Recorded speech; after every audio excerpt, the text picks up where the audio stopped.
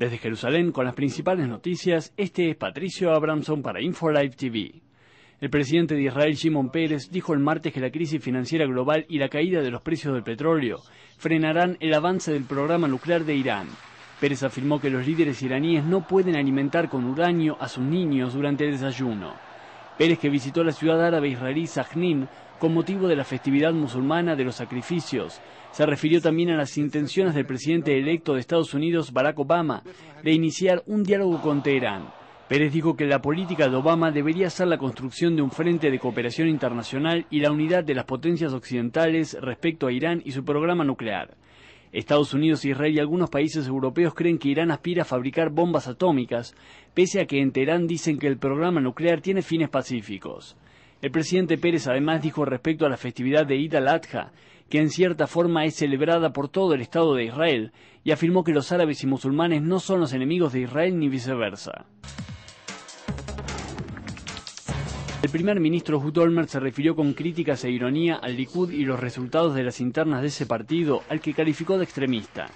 Olmert, miembro de Kadima, dijo que si Bibi Netanyahu, Moshe y Alon y Moshe Feiglin son las figuras más prominentes del Likud, es claro que estos extremistas de derecha causarán mucho daño al Estado de Israel. Olmert afirmó que un gobierno dirigido por Netanyahu será un salto negativo al pasado y solo servirá para empujar a Israel al aislamiento. La canciller Tzipi Livni dijo el martes que Israel debe hacer todo lo necesario para debilitar al régimen de Hamas en la franja de Gaza, utilizando una combinación de medidas militares, diplomáticas y económicas. En una conferencia en Tel Aviv, Livni también dijo que Israel debe responder a todos los ataques con cohetes Qassam provenientes de Gaza, para no dar una imagen de debilidad. Ella afirmó que la represalia no detendrá los ataques, pero dará una imagen de fortaleza. El auditor del Estado, Michael Lindenstrauss, habló ante la comisión respectiva de la Knesset y dijo que se deben reforzar los controles para evitar delitos de corrupción pública y las contravenciones a los reglamentos de ética por parte de los funcionarios.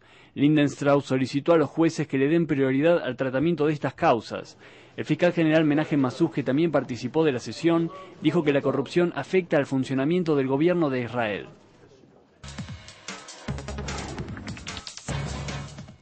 El periódico Haaretz reporta que el presidente de Turquía, Abdullah Gül, tiene planeado visitar Israel en enero.